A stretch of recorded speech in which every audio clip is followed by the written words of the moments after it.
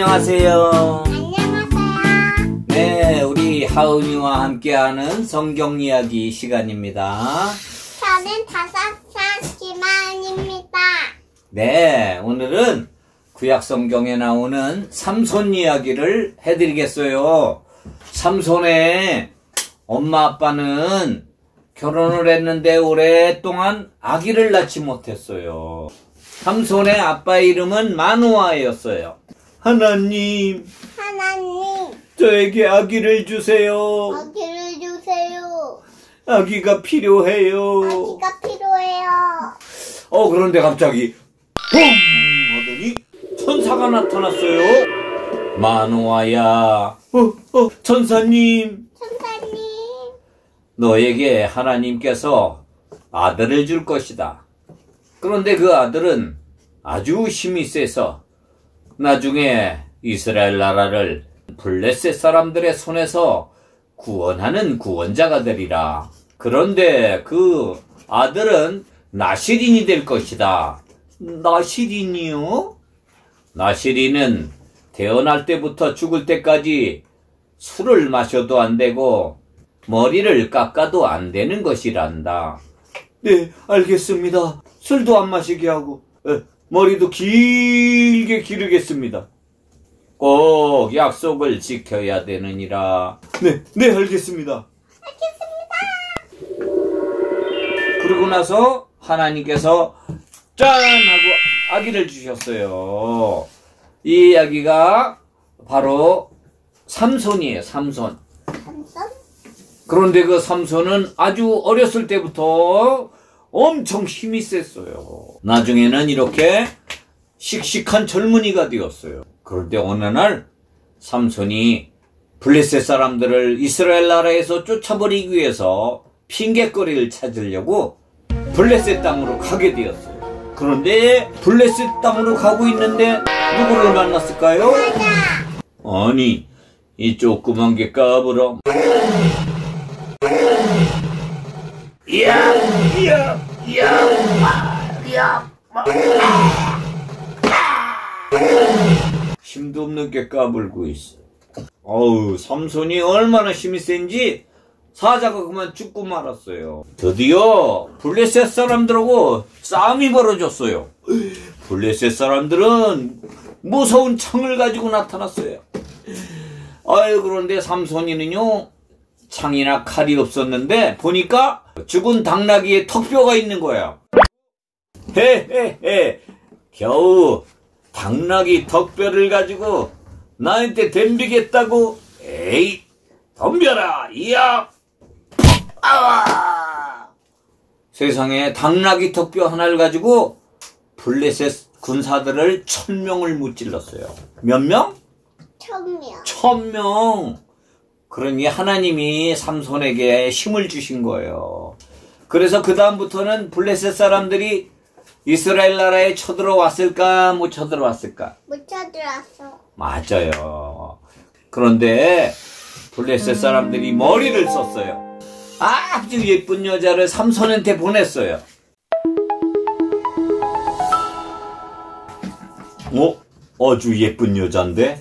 어? 어, 삼손 오빠, 안녕하세요. 어? 나를 알고 있단 말이오?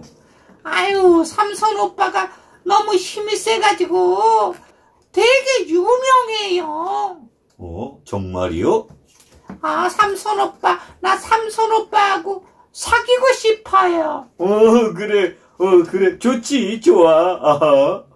근데, 나, 주일날에는 나 예배 드리러 가야 되는데. 나는 하나님보다 더 좋은 신을 믿고 있어요. 뭐? 하나님보다 더 좋은 신이 어디 있어? 내가 믿는 신은 다곤신이에요, 다곤신. 뭐? 타곤신? 그런 신도 다 있나? 아유, 한번 믿어보세요. 아유, 그안 돼. 난 하나님 믿어야 돼. 어, 그런데 삼손이 이 여자하고 같이 사귀다 보니까 믿음이 더 좋아졌을까요? 나빠졌을까요? 나빠졌어요. 나빠지죠. 교회도 다녔을까요? 안 다녔을까요? 안 다녔어. 교회도 안 다니고. 아유, 그런데 어느 날이었어요? 이것 봐 들릴라 왜요? 삼손이 왜 저렇게 힘이 센지 그 비밀을 알아내줘 그러면 내가 이 보물을 다 너에게 줄게 네, 정말이에요? 그럼 알았어요. 걱정 마세요. 그래서 어 이 돈의 눈이 먼 들릴라가 날마다 삼손한테 졸르는 거예요 삼선, 어떻게 해서 그렇게 힘이 센지 비밀을 가르쳐줘. 어, 안 돼. 그건 가르쳐 줄 수 없어. 아, 오빠 날 사랑하지 않는 거야? 나 삐졌어. 어, 아우, 삐지면 안 되지. 돈 줄 테니까 어, 삐지지 마. 그런 거 필요 없어요. 아, 어떻게 해서 힘이 센지 나한테 가르쳐 줘. 제발 부탁이야.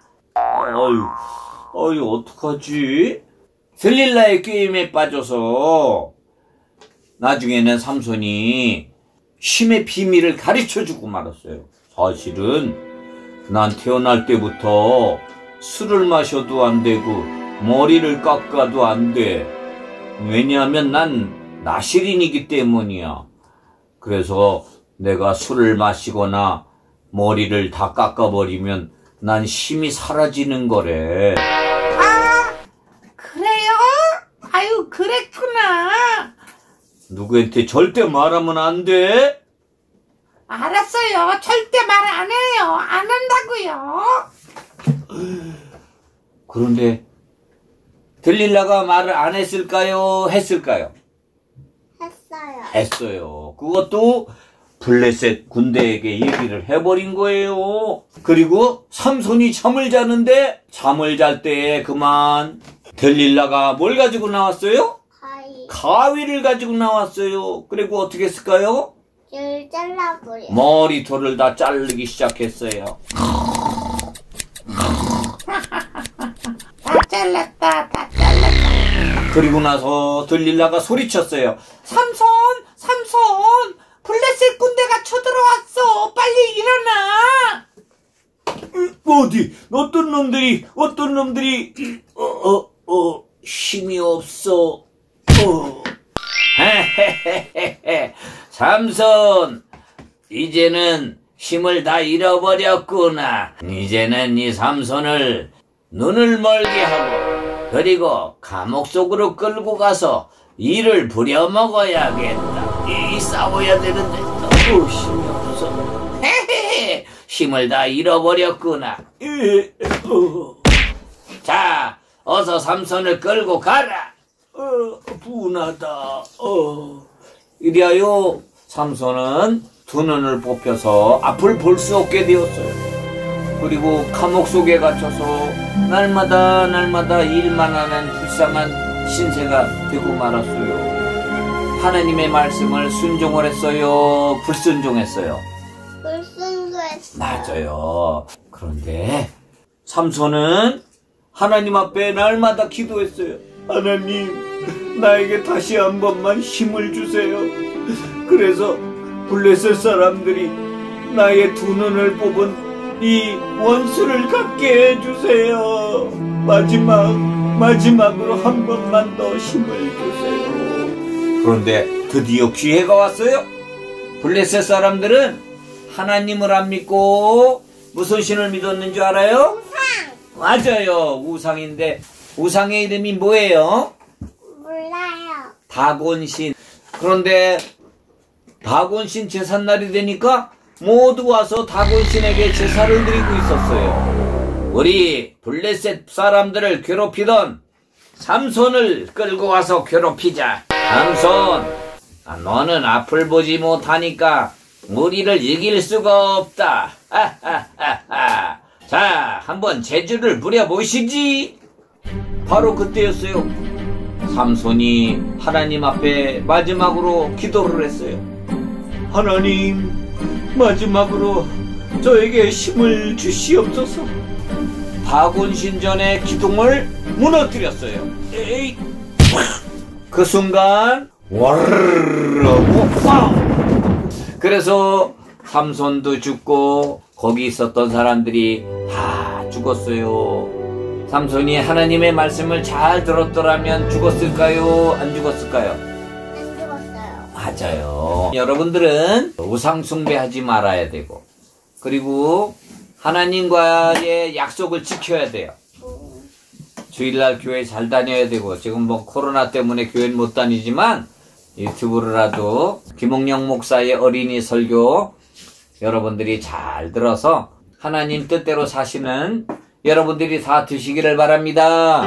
자, 그러면 안녕. 감사합니다.